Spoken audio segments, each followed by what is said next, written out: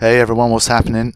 It's been a little while since I've been doing my Metal Gear Solid playthroughs, but like I said at the end of Peace Walker, well, it's not quite the end, but I really had enough of that game for now. I really can't bother to do the extra stuff to get the the second ending or whatever it is, so you can check that out yourselves. At some point I probably will do it, but for now I just want to I just want to start Twin Snakes because I have not played this game in a very long time, and I did I did enjoy this game, so I wanna I do want to play it. But yeah, as you can see, I am on a Nintendo Wii. This is actually my sister's, but she hasn't used it in about two years, so I've kind of taken it, and I'm going to use it to to do this playthrough of Twin Snakes. I guess the first question you might have is why Twin Snakes? Well, first of all, I don't actually own Gear Solid 1. I, the time that I did complete it, I've completed it once or twice, but I borrowed it off a friend the first time I did it. And since then, I've only I've only ever played Twin Snakes really. And because uh, I was like, I think I was seven when the first MGS came out, I obviously couldn't really get into it because it was a bit above my skill level and intellectual level, so I had to kind of leave it and Twin Snakes because it's got like the the enhanced graphics and the the MGS2 gameplay elements. I thought I would play through that. It would be it'd be more fun for me, and obviously everything will look a bit nicer as well. But I'll shut up for this opening cutscene.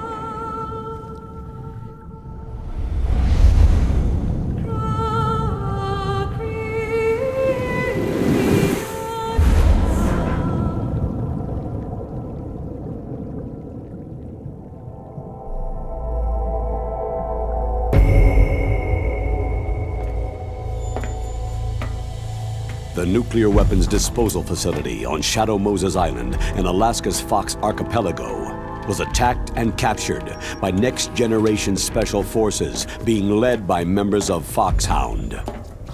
They are demanding that the government turn over the remains of Big Boss, and they say that if their demands are not met within 24 hours, they'll launch a nuclear weapon.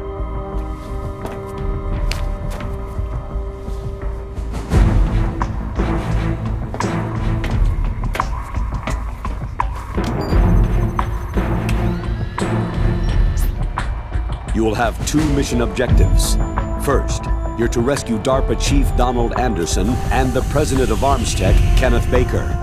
Both are being held as hostages. Secondly, you're to investigate whether or not the terrorists have the ability to make a nuclear strike and stop them if they do. What's the insertion method? We'll approach the disposal facility by sub. And then? We'll launch a one-man SDV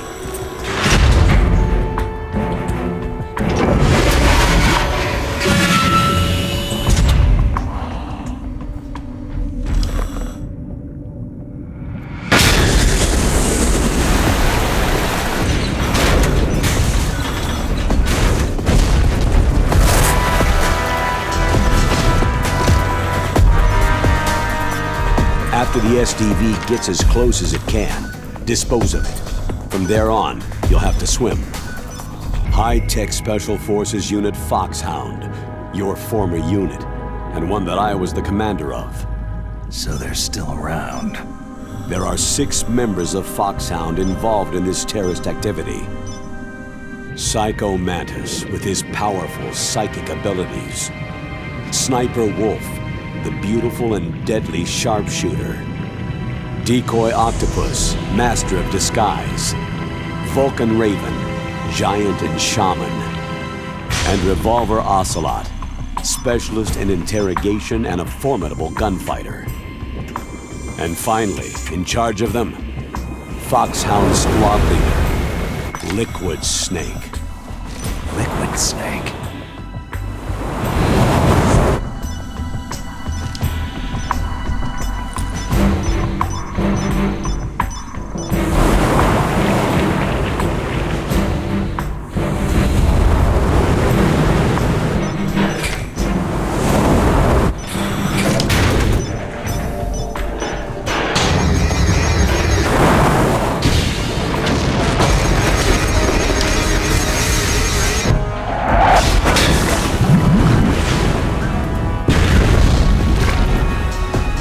Nuclear weapons disposal facility covers the whole island.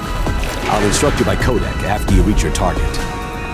Anyone going with me? As always, this is a one-man sneaking mission. Weapons and equipment OSP. Yes. This is a top secret black op. Don't expect any official support.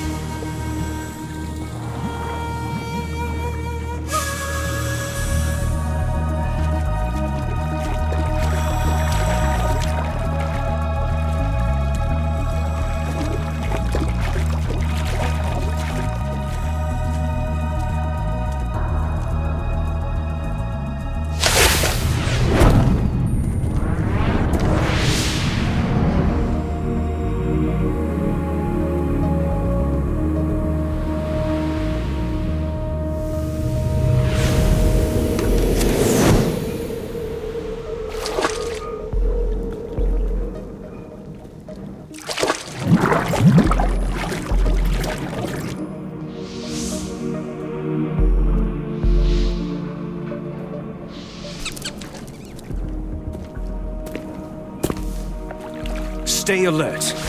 He'll be through here. I know it. I'm going to swat down a couple of bothersome flies.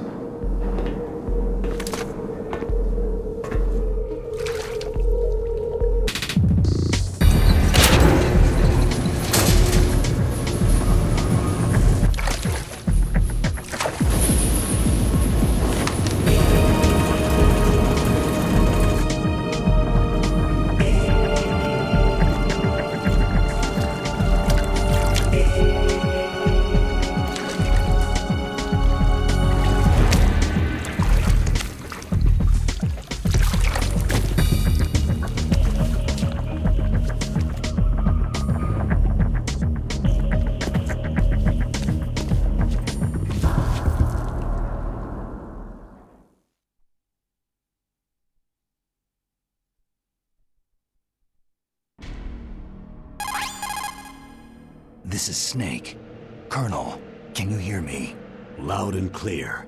What's the situation, Snake? Looks like the elevator in the back is the only way up. Just as I expected. You'll have to take the elevator to the surface, but make sure nobody sees you. If you need to, contact me by codec. The frequency is 140.85. When you want to use the codec, push the pause button and then the A button. When we need to contact you, the codec will beep. When you hear that noise, press the pause button and then the A button to receive the call. The codec's receiver directly stimulates the small bones of your ear. No one but you will be able to hear it. Got it.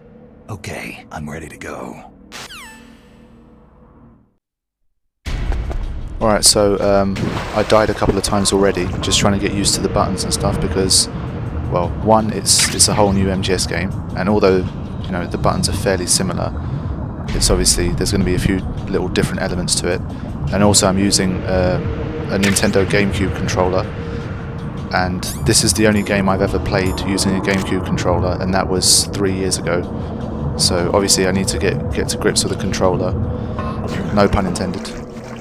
But yeah, I'm just uh, I died a couple of times trying to figure things out and just see like what the AI is like and, and all that kind of stuff. So hopefully I'll be I'll be able to make it through this time. But yeah, the, the controller's going to take a little bit of getting used to. I I borrowed a controller off one of my cousins actually, and uh, it's not it's not an official controller. It's one of these kind of cheap like imitation ones So it's really kind of it's really a terrible controller, but I didn't want to buy a new one, kind of just to play through this game. So I'm not going to be. This isn't going to be like a, a masterclass or anything like that. I'm just gonna. I'm just going to try and get through the game as best I can. But it's a. Uh, it's been like I said. It's been a long time since I played, and I'm on a new system with a new controller. So it might take me a. It might take me like a few hours before I really start to get get the hang of it. As you can see. So yeah, this is. Uh, well, this is really the MGS to start it all. I mean, there was uh, there was Metal Gear. Metal Gear first was released in 1987, in case anyone doesn't know. And all right, there's someone coming down. Yeah, okay. So it's been 25 years since this game came out, but Metal Gear Solid 1 didn't actually come out till 1998, I think it was. So it wasn't really until this game that Metal Gear Solid was put on the map. And to be honest, if, if you're if you're the kind of person that's played the original first, everyone loves the original. But because I played the original so long ago, and I, I pretty much played Twin Snakes at a similar time to when I played the original. I might have even played Twin Snakes before the original. So I don't have a problem with Twin Snakes personally, but a lot of people kind of don't like this one and like the original. So sorry about that. But I decided to to play through this. I think they said the voice acting was one of the biggest issues because they had to call everyone back to redo the voice acting and they did a they did a bad job. But we'll see as we play through.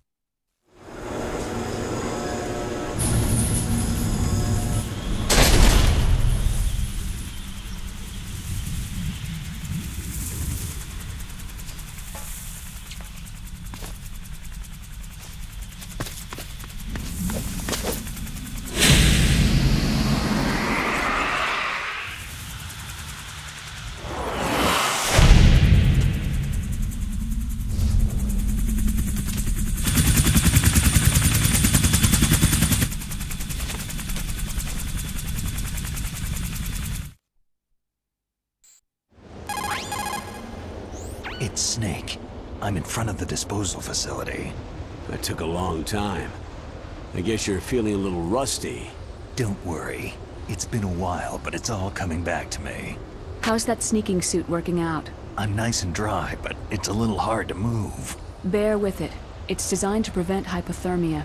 This is Alaska, you know. Take it easy. I'm grateful. If it weren't for your suit and your shot, I would have turned into a popsicle out there. An anti-freezing peptide snake. All of the genome soldiers in this exercise are using it. I see. I'm relieved to hear that. Already tested, huh? By the way, how's the diversionary operation going? Two F-16s just took off from Galena and are headed your way. The terrorist radar should have already picked them up. A Hind D. Colonel, what's a Russian gunship doing here? I have no idea, but it looks like our little diversion got their attention.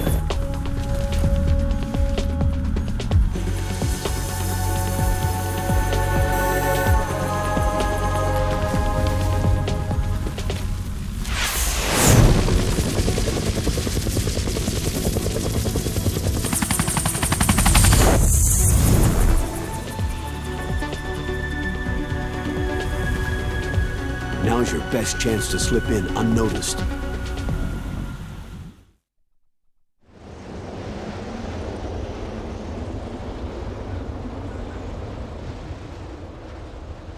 There are only 18 hours left until their deadline. You've got to hurry. Wow, he must be crazy to fly hind in this kind of weather. Who's that? Oh, sorry. I haven't introduced you to yet. This is Mei Ling, she was assigned to us as our visual and data processing specialist. She designed your codec, as well as your Soliton radar system. Contact her if you have any questions about either of them. Nice to meet you, Snake. It's an honor to speak to a living legend like yourself. What's wrong? Nothing. I just didn't expect a world-class designer of military technology to be so... cute. You're just flattering me. No, I'm serious. Well, I know I won't be bored for the next 18 hours. What's this? I'm being hit on by the famous Solid Snake? But I'm surprised. I... I didn't think you'd be so frank. Looks like we both have a lot to learn about each other. It does, doesn't it?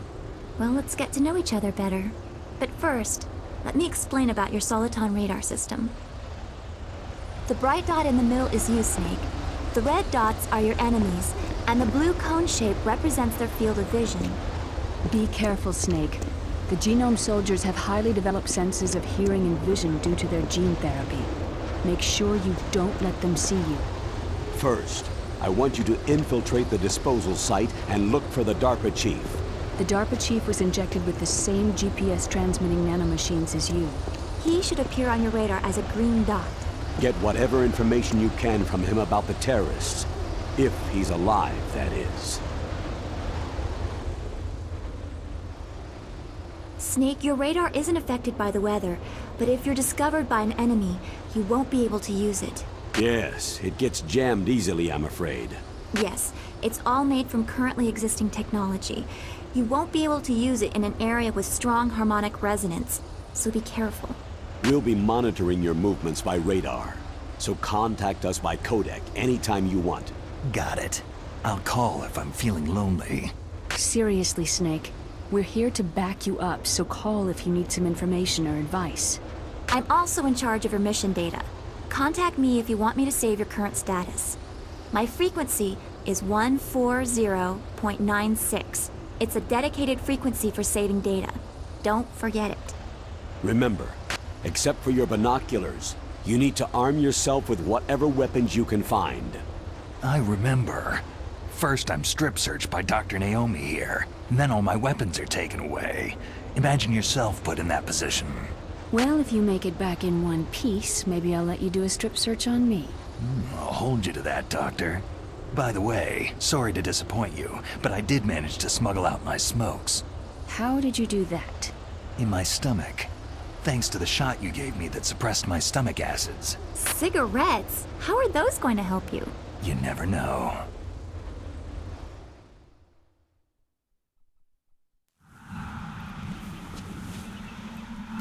If you want to get in, there's the front door. It's the fastest way, but there's too much risk of being spotted by the enemy. Yeah, I can't just knock on the door and ask them to let me in. What about the air duct near the door? Hmm. One sentry on the left, and one on the right. They're armed with 5.56ers and pineapples. There should also be a duct on the second floor. I can't see it from here. I'll let you decide the best COA. I'm counting on you, Snake. Alright, so there we have our little briefing, and we kind of get to meet the team, as well as the people that we're going to be dealing with. And I really want those chaff grenades in the middle of the heliport. It's one of the do things I do remember about, about this game. Chaff grenades always... Oh shit. Is there somebody there? Yeah, these guys are quite good. They they hear your, your footsteps pretty easily here. Um, let me just use a chaff here, because I'm because of those boxes, I don't think I can get underneath this this camera. I don't really know what's here, but surely it's worth it. It's guarded by a camera. Stun grenades, okay, those are always good.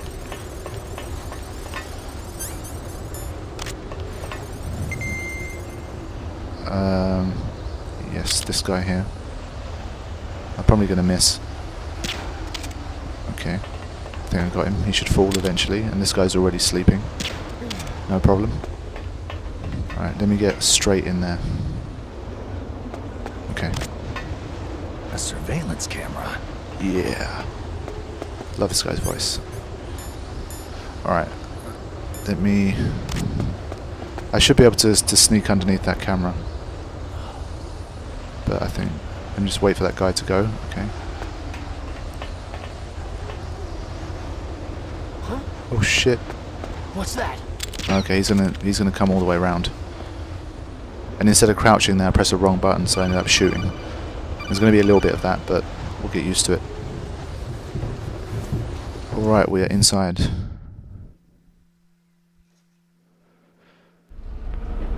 Really have missed this game. It's kind of good to return to the slightly more old school Metal Gear. Ah, yes. Snake, this is McDonnell Miller. It's been a long time. Master, what are you doing here? I quit being a boot camp instructor, so I moved out here for some peace and quiet. I'm in retirement, just like you. Once in a while, I still help train the Alaskan Scouts. Passing on the skills to a new generation, huh? Campbell told me about the situation here. I thought I might be of some use. There's no one I'd rather have in a foxhole than you. Well, I know lots about survival in a harsh environment. I've lived in Alaska longer than you. So call me if you have any questions about the flora or fauna out here. My frequency is 141.80. Those mice are Alaskan field mice. Don't worry, they can't hurt you. Wild field mice don't have a thick layer of fat, but they can still survive the bitter winters here without hibernating. They dig tunnels under the snow, and that's where they stay warm. Survival specialists, huh? I should learn from them. But there's a dark side too. Sometimes the males will kill and eat offspring that are not their own. To ensure the survival of their own genes, right? Yeah, pretty brilliant program, huh? If there are mice, that means there must be an exit somewhere. Follow the mice. And already we have some of the some of the themes of Metal Gear Solid creeping up there. For those of you that know the whole series, you'll know that what he's saying is kind of he's kind of talks about some of the themes of the game already when he's talking about the mice. I'm not sure how the mice got through the water there, but okay. But best invention of these Metal Gear games is obviously this um, this M9 I guess this is like the updated version of the MK22 from Metal Gear Solid 3. But I mean, without this gun, I would struggle so much. It's literally it. You know, without it, I'm I'm screwed because it's silent. You don't kill people. Mostly because it's silent and you can take people out in one shot wherever you hit them. Like this guy here.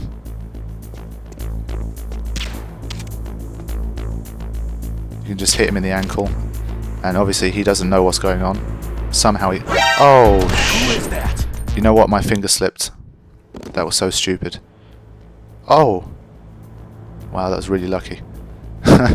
he just kind of got knocked out before he could trigger an alert. That was really lucky. wow, that must have been so stupid. I just randomly crawled out. Okay. What was I saying? Yeah, somehow they don't realise that a massive needle's like tranquilizer's been shot into them, but what the hey? Come on, dude.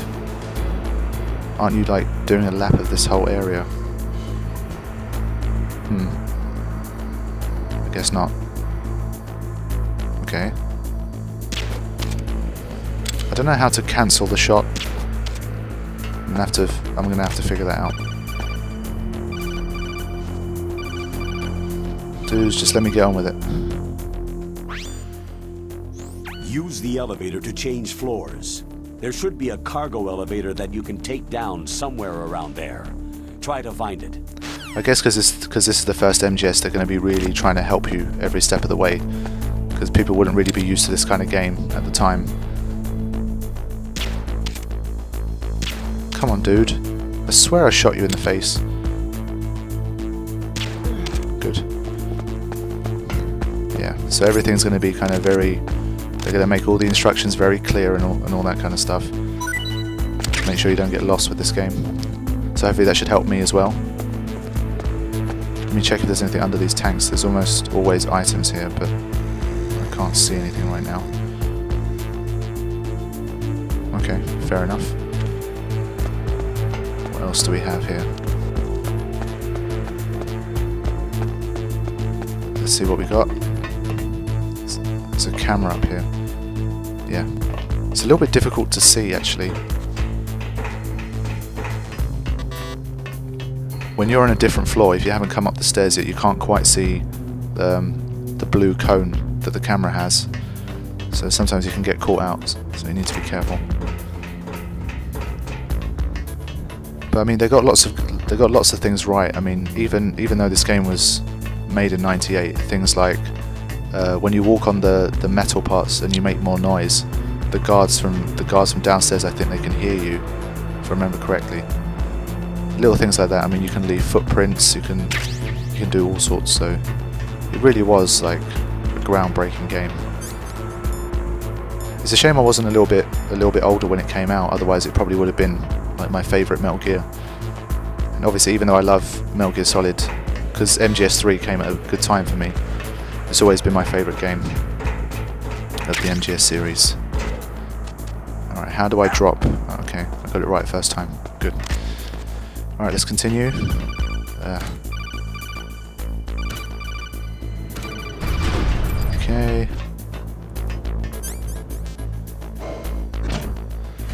Alright, I should be... It's been quite a while since I started recording because of all the times I died. I'm going to have to edit those out. But yeah, this this should be around the end of the first part. Let me just take this call. Look at the radar! It's picking up the DARPA chief! He's the green dot! Hurry and rescue him! Okay, this is a good cue to, to call her back and save. So let's do that. Look at the radar! Yeah, okay. Alright, so we've made a start to this game. Hopefully I can I can get more of this done. Wow, the last save was from 30th of May 2009. So like I said, it has been three years. Alright, I'll see you for the next episode.